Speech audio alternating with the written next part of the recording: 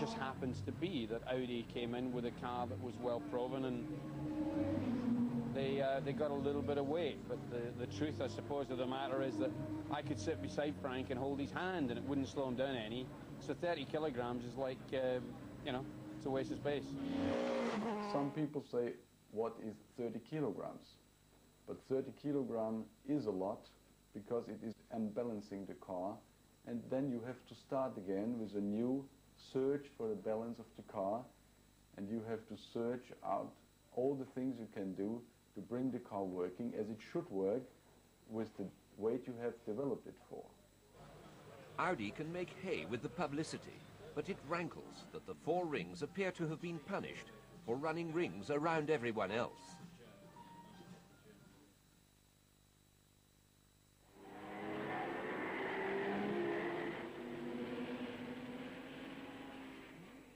Success and Audi have been synonymous since the marque first went into racing in the early 1930s. Audi originally were just one of the famous four rings. That symbol came from the merger in 1932 of Audi, Horch, Wanderer and DKW to form the Auto Union.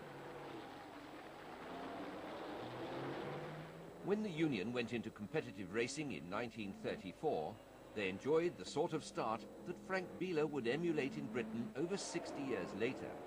In that first year, Hans Stuck was preeminent.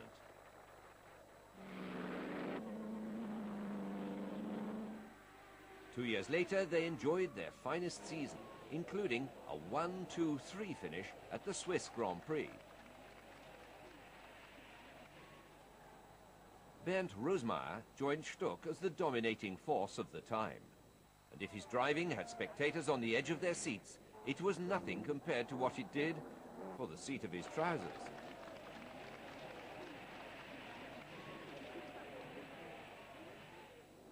Other driver names like Tazio Nuvolari had become world famous by the time 1939 witnessed the final race of the Auto Union Silver Arrows.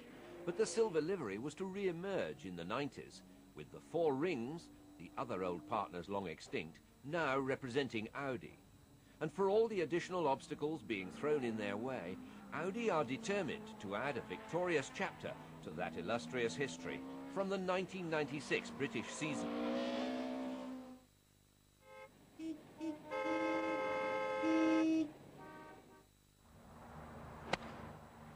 Success in the championship necessarily boosts domestic sales, but the drivers do their bit for that off the course as well as they attend open days and forums at Audi dealerships around the country. From school, I was always uh, in athletics and I ran at schoolboy level when I was 16. And then when really cars became part and bikes and things from then on in, that was really it. Cars from then on in. We're certainly getting reports back from dealers that people are coming in, they're noticing, they're watching the TV, they're reading the column inches on the uh, on the sport, and they're coming in and, and really getting an interest both in Audi and in particular in Quattro, which is a, a unique selling point for Audi. But overall, one has to say that uh, our sales performance being 36% up year on year has to do with many factors, but I'm sure the racing literally has a, has a part to play in all of that. And from Knockhill to Brands Hatch, Thruxton to Snetterton, touring car racing is now snapping at the heels of Formula One in terms of spectator appeal.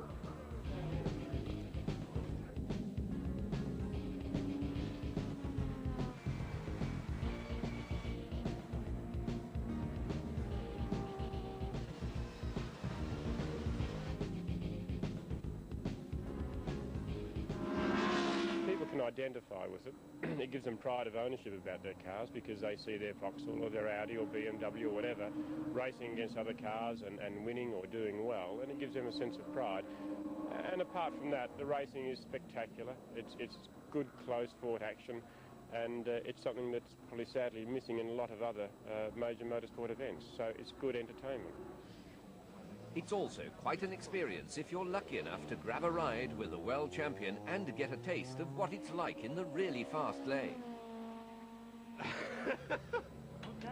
That's absolutely terrific. I think the thing that gets you the most is the, is the late braking. Your normal sensation is to brake much, much earlier.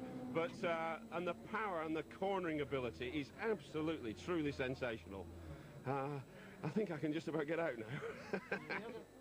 And for racetracks and domestic marketing alike, there's a single theme, the return of the renowned Four Rings.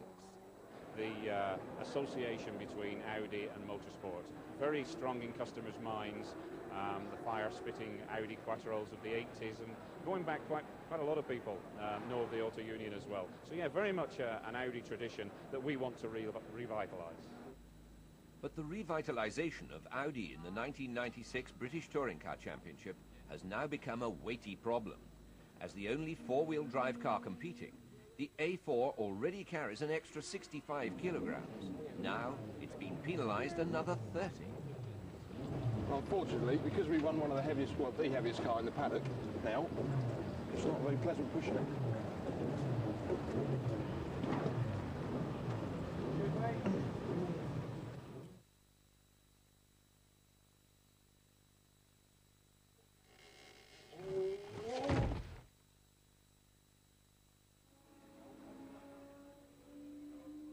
If the weight penalty is bad news, bad weather for the four-wheel drive Audis tends to be good news. Indeed, such is the handling, wet weather is now known as Audi weather. And in round eight, the Audi drivers take full advantage, with Biela winning and Bintcliffe finishing third. It uh, started to rain in the right moment, at the right moment, and it started to dry up in the right moment because I think Roberto was on uh, intermediates and it came closer and closer when it was uh, a bit damp. But uh, then the circuit was drier and drier again, so uh, I could manage to, to keep first position. Qualifying for the next two rounds at Oulton Park again takes place in Audi weather, allowing Biela to capture pole position both times. But in both races he's beaten into second place, and the pit lane talk is whether that's because of the 30 kilograms of extra weight being added for the first time, or whether Audi are deliberately sandbagging to cover up their superiority even with that weight handicap. Do you ever go out and not give 100%? No, never. And uh, I promise you, especially now with the 30 kilos and uh, uh, with a stronger competition, you have to go 100% to uh, to um, to qualify, let's say, under the first 10 cars or something. But the abiding memory of the Cheshire races is the horrifying accident suffered by Kelvin Burt in his Volvo 850. He remains unconscious for 15 minutes. Thankfully, he recovers fully, a tribute to the stringent safety measures insisted on by the series organisers. It's probably the first uh, demonstration we've had of the new safety regulations that have been incorporated into these cars, and clearly they worked. You know, that was a massive accident, and uh, had uh, Kelvin been in a car from a year or two ago, um, I think uh, the results would have been far more serious than they were. So it's, it's testimony to, to, the, to the new safety regulations that have been introduced, and uh, I hope a lot of people sit up and take notice at, at it and, and have a good look at what they're doing to their cars, both in other series and in the BTCC.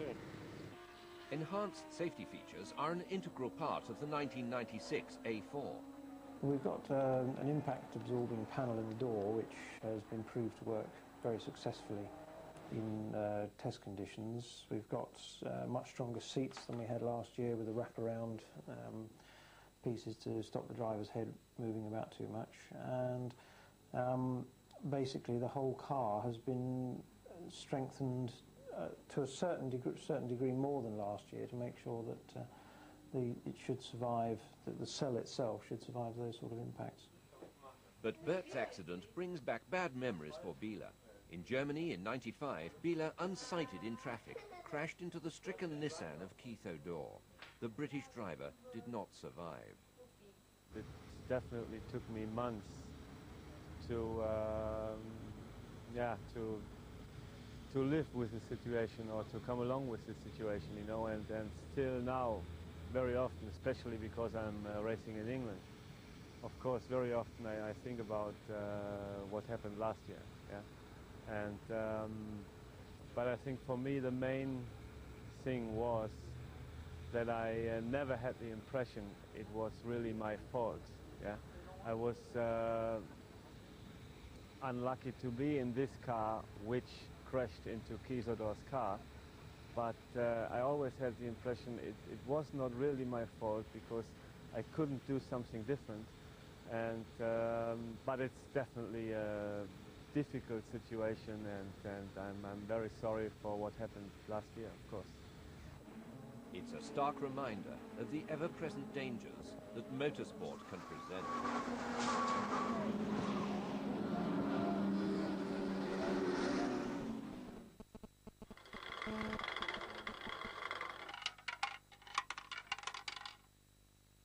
The mastermind behind Audi's return to the British Championship is Dr. Wolfgang Ullrich. It was his gamble to leave precious little time for the British team to be assembled. If I look back to 94, we did the same thing in Italy. We have been later then because the decision to do it in Italy came in December and the championship started at the end of April and in December the team didn't exist. And it worked well because we could win the first year in the championship immediately. So I was quite optimistic that with these three months more we should manage it. And manage it they did, due significantly to the hands-on approach of the head of Audi Sport.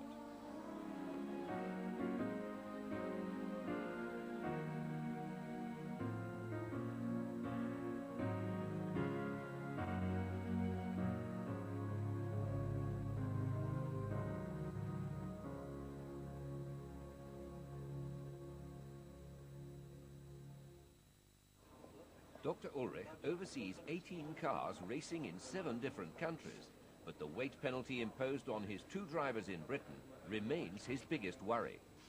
Last year, uh, Nissan and Ford tried four-wheel drive cars, but they never, never have been competitive. They have been always much slower than their front-wheel drive cars. So they stopped their development. Now we're alone. That means whenever any penalization of a four-wheel drive car will be, it will be that we will be penalized.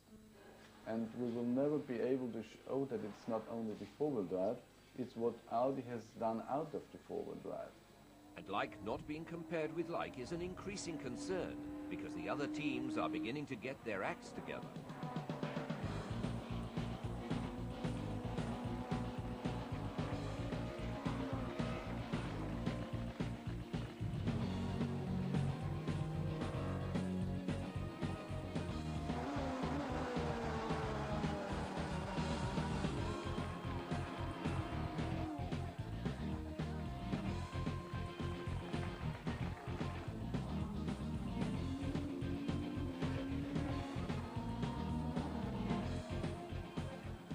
So, after 12 rounds of the season, Biela holds a 49-point lead in the championship with Bintcliffe lying fourth.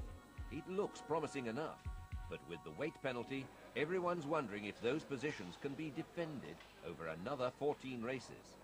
For Dr. Ullrich, the Buckingham boardroom must feel like a lonely place as he faces the possibility of his gamble going wrong.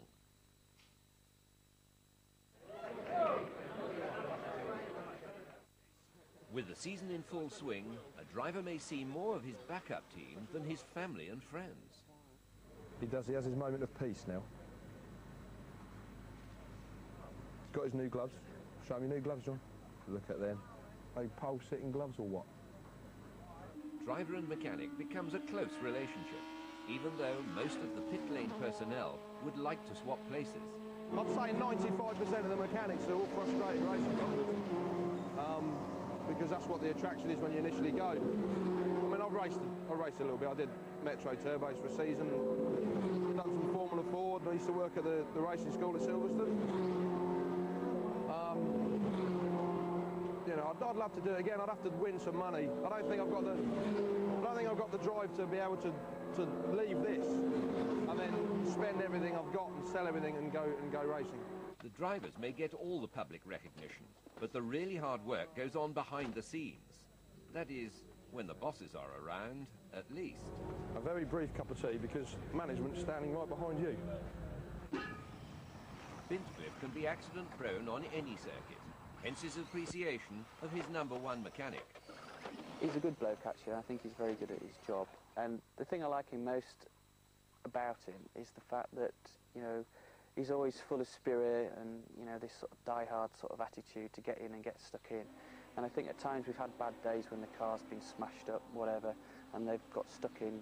When I think some of the other lads have said, oh, you know,